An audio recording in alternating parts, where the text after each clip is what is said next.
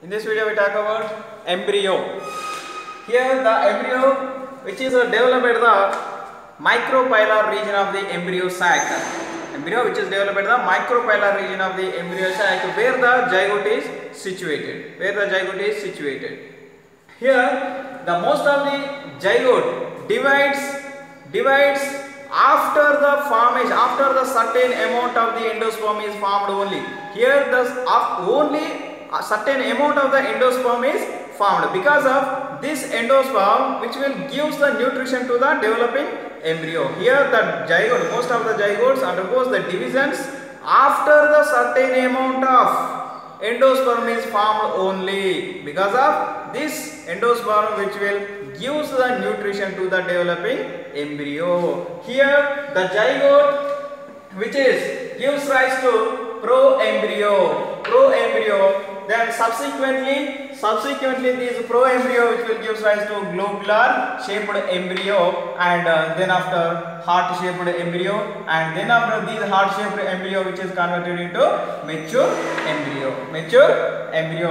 See here the dicotyledonous embryo we have to discuss about the first one the dicotyledonous embryo.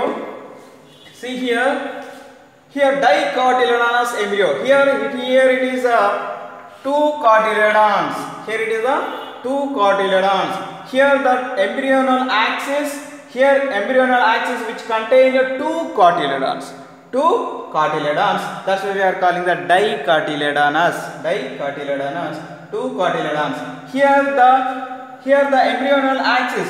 Above the cotyledon the embryonal axis the portion of the embryonal axis above the cotyledon that is called epicotyle that is called epicotyle epicotyle epicotyle which is uh, terminates with the plumule which is terminates with the plumule here above the level of above the level of the cotyledon here the embryonal axis above the portion of the above the portion of the cotyledons that is called uh, epicotyle epicotyle terminates with the plumule here here this epicotyle here the two cotyledons these are uh, uh, fleshy and abundant reserve food material. These are having the abundant reserve food material.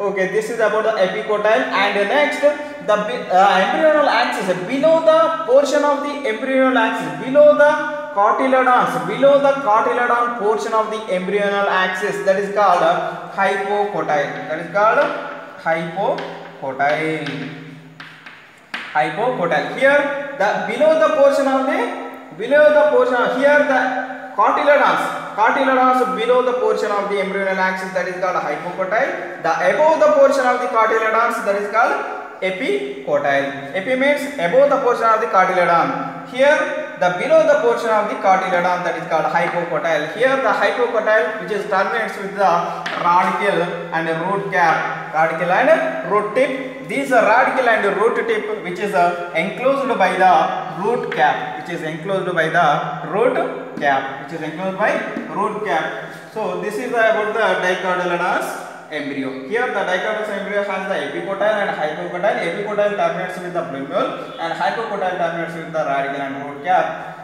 And uh, coming to the monocotyledonous embryo. Here the monocotyledons which means a single cot monocot which means a single cotyledon here monocotyledon seed which is containing a single cotyledon that is called a scutellum that is called scutellum it has only one cotyledon only the single cotyledon that is called a scutellum which is arranged at the lateral position of the embryonal axis. Lateral position of the embryonal axis see here the below the portion of the scutellum here below the portion of this scutellum they are having the epicotyle which is containing which is containing the shoot apex and a few leaf primordia. These are few shoot apex and a leaf primordia which is enclosed by a hollow sheath which is enclosed by a hollow sheath that is called a coleoptile here that is called a coleoptile these are enclosed these are enclosed by a hollow sheath that is a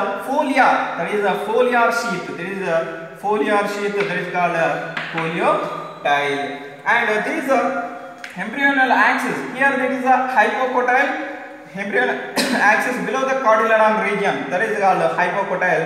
Here, this is a ends with the radicle and a root cap. Radicle and root cap.